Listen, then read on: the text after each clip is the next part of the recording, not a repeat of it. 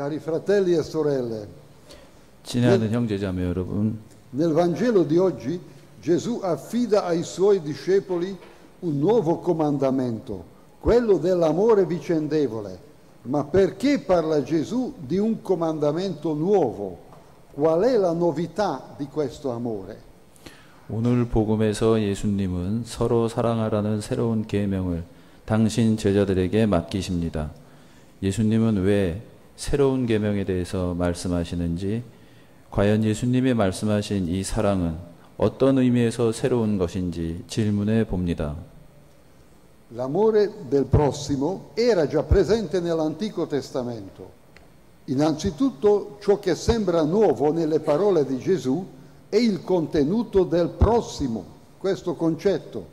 Per Gesù il prossimo non è soltanto il membro del proprio popolo, bensì lo sono tutti gli uomini.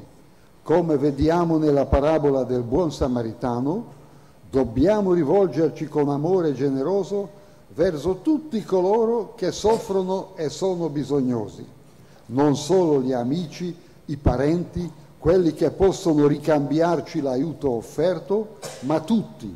Un'estensione così universale dell'ideale dell'amore da parte di Gesù è certamente una novità. 이웃에 대한 사랑은 구약 성서에 이미 제시되어 있는 내용입니다.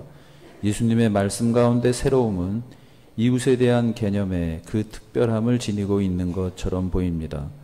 예수님에게서 이웃은 백성 가운데 어떤 한 사람이 아니라 모든 인간을 뜻합니다. 착한 사마리아인의 비유에서 보는 것처럼 우리는 고통받고 도움을 필요로 하는 모든 사람들을 관대한 사랑으로 대해야 합니다. 예수님이 우리에게 가르치신 것처럼 우리는 모든 원수, 우리 원수까지 사랑해야 합니다. 단지 친구들, 친척들, 그리고 도움을 서로 주고받을 수 있는 사람들만을 사랑하는 것이 아니라 모든 이를 사랑해야 하는 겁니다.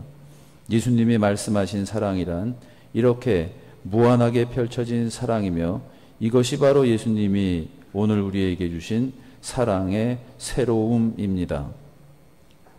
Nel Vangelo di oggi però non sentiamo parlare il Signore del comandamento generico dell'amore.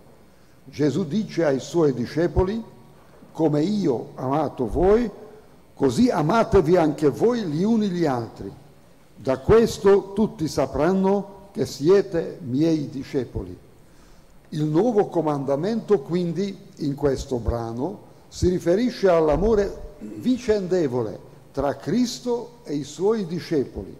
Non esclude gli altri uomini, nemmeno i nemici, ma l'amore veramente grande e nuovo è questo amore vicendevole di Cristo e dei cristiani. 우리가 들은 오늘 복음에서 예수님이 말씀하신 사랑의 계명은 그냥 일상적인 평범한 그런 사랑이 아닙니다. 예수님은 당신 제자들에게 다음과 같이 말씀하십니다. 내가 너희를 사랑한 것처럼 너희도 서로 사랑하여라. 너희가 서로 사랑하면 모든 사람이 너희가 내 제자라는 것을 알게 될 것이다. 이 말씀에서 나타난 새로운 이 계명은 그리스도와 그 제자들 사이에 긴밀한 사랑을 말하는 겁니다. 그렇지만 이 사랑은 다른 사람들을 배제하는 것이 아닙니다. 원수까지도 사랑하는 사랑을 뜻합니다. 이렇게 참되고 위대한 사랑이 그리스도의 사랑이며 그리스도인들의 새로운 사랑인 겁니다. Il nuovo comandamento è collocato interamente nel contesto della passione, della morte e della risurrezione promessa di Cristo. Gesù ha amato tanto il Padre che per il suo amore e per obbedienza verso di lui ha assunto anche la morte sulla croce. Il Padre invece ha amato tanto il Figlio che lo, risusc- che lo ha risuscitato dalla morte e lo ha elevato alla sua destra nella gloria. Nell'amore dei cristiani, gli uni verso gli altri, si manifesta e opera in questa terra l'amore del Padre e del Figlio. 새 계명은 그리스도의 순환과 죽음 그리고 약속된 부활이라는 맥락 속에 고스란히 스며져 있습니다. 예수님은 사랑과 순명을 통해서 십자가의 죽음을 받아들이기까지 아버지 하느님을 사랑하셨습니다. 아버지 하느님께서는 당신 아드님을 죽음에서 부활시키시고 영광스러운 당신 오른쪽에 앉히시기까지 예수님을 사랑하셨습니다. 서로 사랑하라는 그리스도인들의 사랑을 통하여 이 세상에서 아버지 하느님과 그 아들 예수님의 사랑이 드러나고 실현됩니다. Il comandamento dell'amore ci invita anche oggi ad aiutarci a vicenda, prima di tutto nelle nostre comunità parrocchiali. Dobbiamo conoscerci ed essere vicini gli uni agli altri, sia nella gioia che nella tristezza. Se qualcuno nella comunità è malato, se ha problemi in famiglia, nell'educazione dei figli, nella cura degli anziani oppure nel mondo del lavoro, dobbiamo saperlo e dobbiamo cercare di aiutarlo. Nella città di Budapest stiamo preparando il prossimo congresso eucaristico internazionale che avrà luogo nel 2020. Nella preparazione pastorale di questo evento abbiamo messo l'accento sul rinnovamento delle nostre comunità parrocchiali. Il compito è grande perché in Europa, specialmente nei paesi dove i cattolici sono la maggioranza, anche nella vita parrocchiale sono diffusi un certo anonimato e stanchezza. È sempre attuale l'incoraggiamento di San Giovanni Paolo II sulla nuova evangelizzazione. 오늘날 이 사랑의 계명은 우선적으로 우리 본당 공동체에서 서로 서로 도와주라고 우리를 초대하고 있습니다. 우리는 기쁠 때나 슬플 때나 우리 이웃 곁에 있으면서 서로 서로를 이해하고 알아야 하겠습니다. 만일 공동체 안에서 누군가 병들었다면 그리고 가정에서 어떤 문제를 가지거나 자녀 교육과 노인을 돌보는 일에서 어려움을 겪고 있다면 그리고 직장에서 고충을 당하고 있다면 우리는 그것을 알아야 하고 도와주려고 노력해야 합니다. 부다페스트는 2020년 개최되는 세계 성체대회를 준비하고 있습니다. 성체대회를 사목적으로 준비하면서 본당 공동체를 새롭게 하는 점에 대해서 강조하고 있습니다. 이것은 아주 중요한 과제이기도 합니다. 왜냐하면 유럽, 특히 가톨릭 신자들이 대다수를 차지하는 나라에서 본당이란 곳, 그곳에서의 생활은 어떤 면에서 상당히 활력을 잃어버렸고 익명성이 팽배해졌기 때문입니다. 그래서 성 요한 바오로 2세 교황님의 새로운 복음화에 대한 강력한 권고는 항상 유효한 것입니다.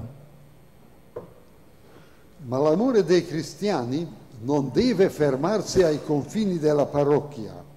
Dobbiamo sentirci in comunione anche con la comunità diocesana e con la Chiesa universale. È doverosa una solidarietà anche tra tutti i cristiani del mondo intero. Per questo siamo particolarmente sensibili quando i cristiani in qualsiasi parte del mondo soffrono di persecuzione, oppressione o discriminazione. Siamo in unione di preghiera con tutti coloro, ma cerchiamo anche di fare tutto il possibile per aiutarli con mezzi economici, così come con la nostra voce, in un'epoca in cui l'informazione è ormai globale. 그렇지만 그리스도인들의 사랑은 본당이란 경계 안에 머물러서는 아니 될 것입니다. 우리는 교구 공동체와 보편 교회와도 친교의 일치 속에 있음을 체험해야 합니다. 전 세계 모든 그리스도교 신자들과의 연대 또한 의무적인 것이라 하겠습니다.